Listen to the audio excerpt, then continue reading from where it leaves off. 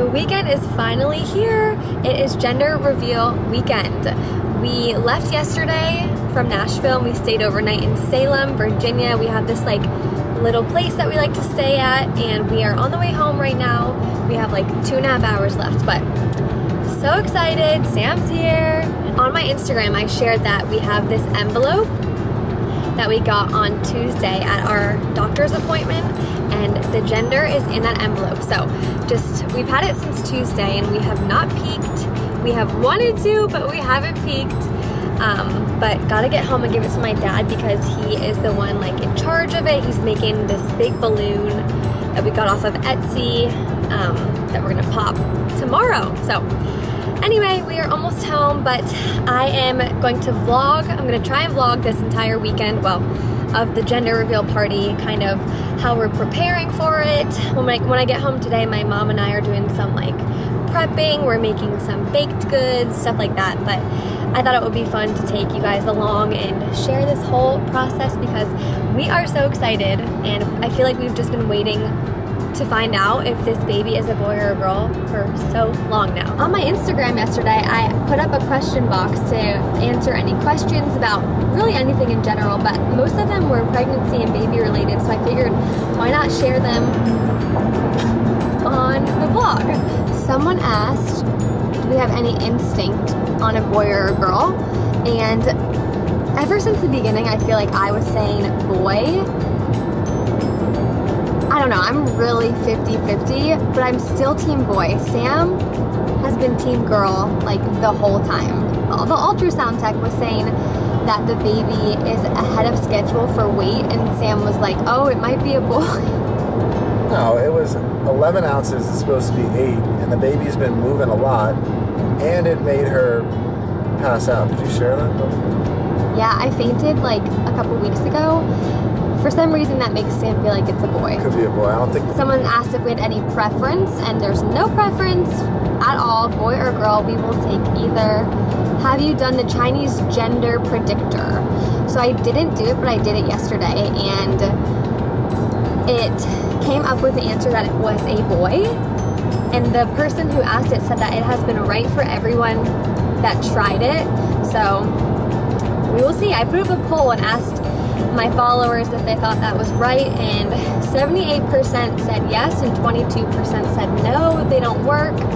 Have we picked out names yet for the baby boy or girl names? We do have two very strong boy names that we love. I think we love one more than the other, but we love both of them so much. The girl names, not so much. It's harder for us with girl names. I'm not sure why, but we have like over 10 and they change regularly. So girl names are a little bit harder for us. What's baby Adams' heart rate? At our appointment on Tuesday, it was 149. 149 beats per minute. So those are most of the baby questions. Some non-baby questions I figured I would just share because first YouTube video, let's get to know about Sam Squared. I'm going to share some non-related baby questions just so you can get to know us better. Someone asked how old I was. I'm 26. Sam is 27. 27. He's almost 28 in September. Someone asked if we will be staying in Tennessee long term. We currently live in Nashville. Um, we don't know. It's up in the air. Sam's job might cause us the need to travel or move, but we love Tennessee, we love Nashville, so we're just going with the flow, seeing where life takes us, trying to just enjoy where we are at in the present moment. Someone asked what I do for work and my husband.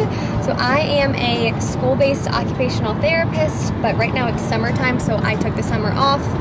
Um, and Sam works in finance.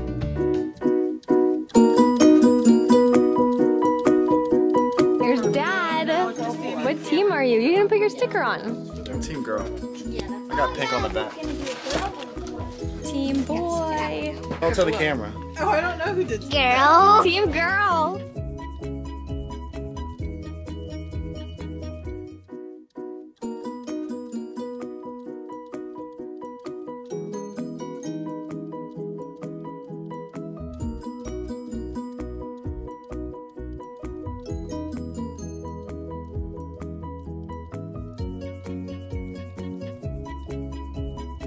What are you?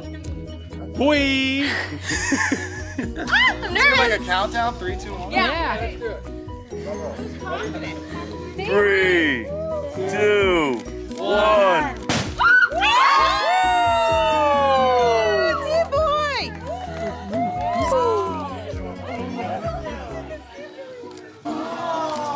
The ring! Perfect! Perfect time. It's a boy!